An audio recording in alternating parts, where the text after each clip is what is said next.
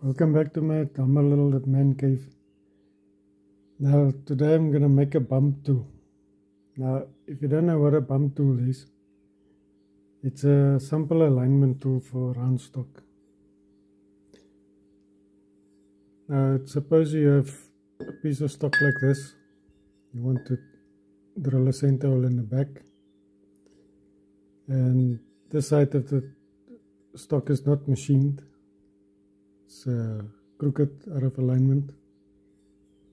But you still need to do your operations on this side first because uh, you're planning on parting off this end when you install your stock you set with this wobble here.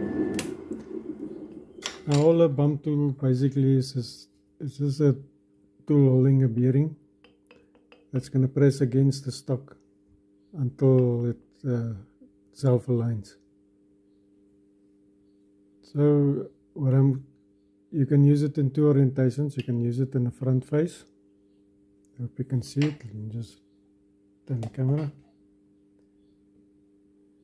You can either use it on the sides or on the front face. So if you've got a thin little cap that you turning around and you want to do a quick alignment on it, you just press on it on the front and it will self-align. Okay, so let, let me get started. Welcome back. Got another piece of scrap steel here that I'm going to turn into a tool. Uh, this was uh, part of a lathe that I've made now what this was was a piece of plate that had, had two motors mounted to it that was running in tandem. And the swivel joint basically was just a uh, a means of uh, tensioning the belt between the motors and the, the drive pulley on the spindle. So these two uh, hinges are captive with this piece of plate because the pins are facing outwards.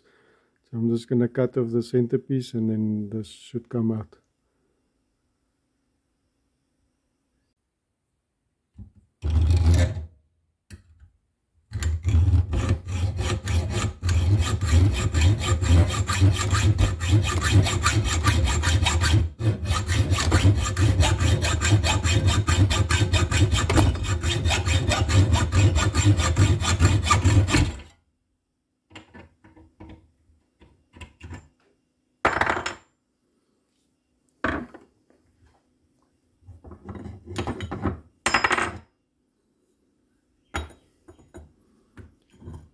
Okay, all I need to do now is just to cut it in the length and uh, clean up a piece that I need.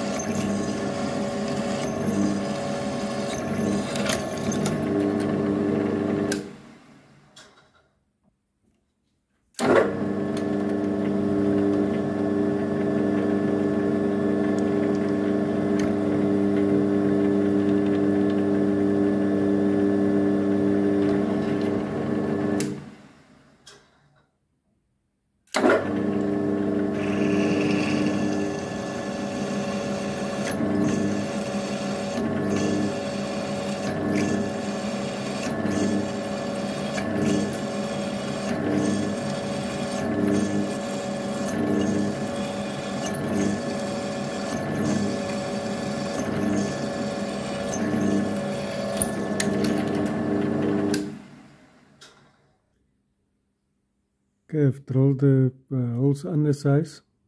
It's 8 millimeter instead of 8.5.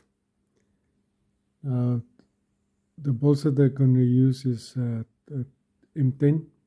So the holes needs to be 8.5, but I've made it 8 millimeters so that I can clamp it down the bolt through my V groove in the middle of the vise so that I can round the edges off.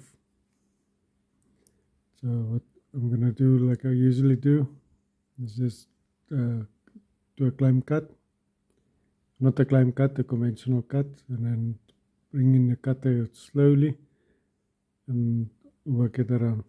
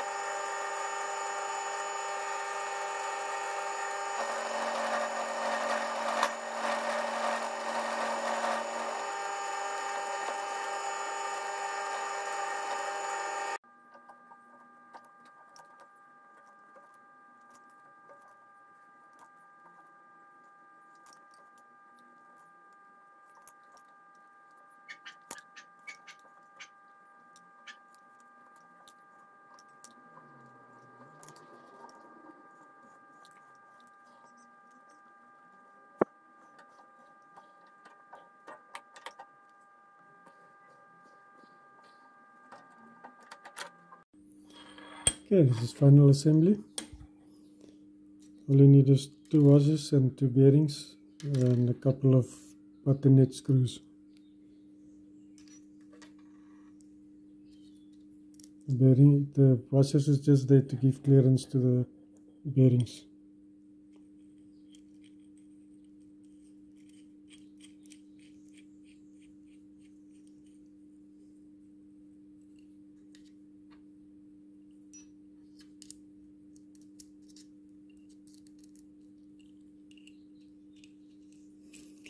I've decided to make this thing uh, double-ended and it will once I've got it in a tool post you'll understand why I've decided to make a double-ended design. Most of the guys that I've seen only has one bearing on a, on a square shank okay as you can see the design was pretty simple. This uh, cut in here is just a relief so that it fits in into my tool holders.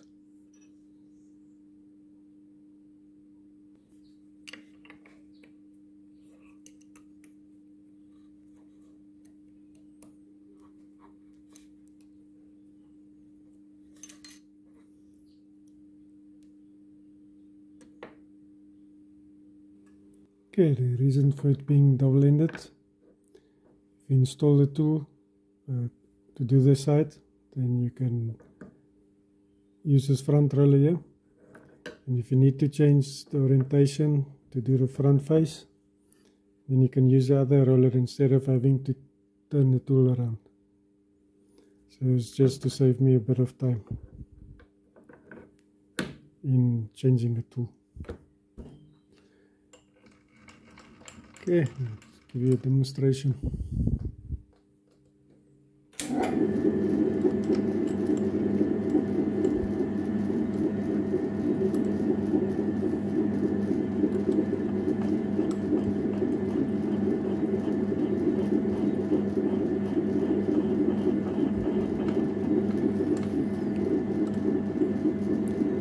As simple as that, the stock has been aligned. And it doesn't take a lot of force. quickly do that again.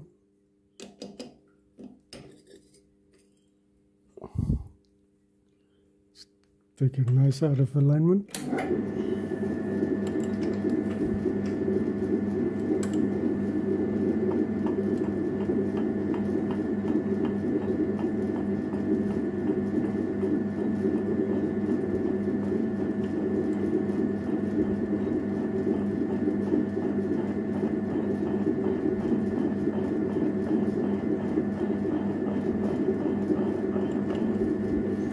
Once you see it stop moving, then you know it's in alignment. And then you st stop pressing, or else you will pull the stock out of the chuck. Well, I hope this build was insightful and enjoyable. Until next time, thanks for watching.